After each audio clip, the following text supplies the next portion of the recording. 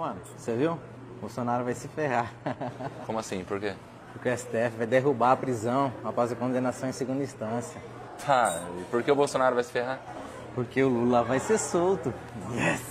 E você acha que o Bolsonaro que vai se ferrar? É, ele odeia o Lula? Ele?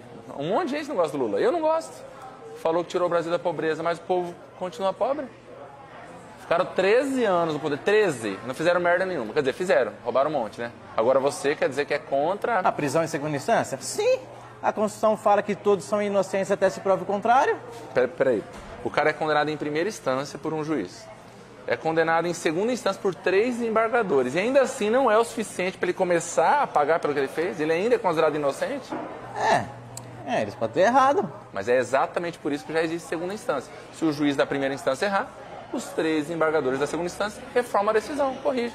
Agora, se não dá para confiar em quatro juízes, então fecha toda a Justiça Federal do Brasil, estadual, cancela tudo, trabalhista, fecha tudo. Ó, eu não concordo. Para mim, o Lula tem que ser solto. E pronto. Tá, você é de esquerda, eu já sei, esquece o Lula. Mas os estupradores, os pedófilos, os assassinos, e aí? Eles também vão ser soltos. E não vão ser presos nem após a condenação em segunda instância mais, e aí? Ô, mano, não tô nem aí. E outra, você é bolsominion pra caraca, hein? Sou, sou bolsominion? Então tá, então tá. Imagina a Carolzinha, sua filha, dois aninhos, coisa mais linda tua filha, né?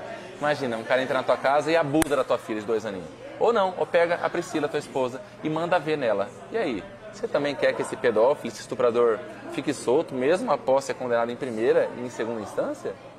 Aí não, aí é diferente. Diferente, né? Diferente porque é tua filha e tua esposa. E a dos outros, não conta não? Ô, mano, acabou, vambora, chega, hein? Bora. Ué, cadê meu carro? Mas deixou ele aqui. Caraca! Roubaram meu carro, mano! Tinha um monte de equipamento dentro! Tem que prender esses vagabundos! Prender? Conforme você defende, eles vão ser presos nunca. Que merda! Vou ligar pra polícia. Eu sei, pai, é um tema muito difícil. Ser a favor ou ser contra a prisão após a condenação em segunda instância. Tudo bem, você pode não conhecer a matéria, tudo mais, está indeciso, mas é só você ver os votos dos ministros do STF. Gilmar Mendes, Toffoli, Celso de Mello.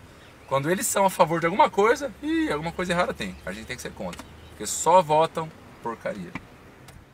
É galera, espero que você tenha gostado desse vídeo de hoje. Meu pedido é, bora compartilhar, manda para todo mundo, copia o link, manda no WhatsApp, Facebook, posta no Instagram, nos stories. Bora fazer chegar em todo mundo e pressionar também os ministros do STF. Porque, gente, deixar solto o cara que foi condenado em primeira e em segunda instância é sacanagem, é favorecer bandido e a gente é contra isso. Então bora divulgar. Se você não é inscrito no nosso canal, se inscreva já.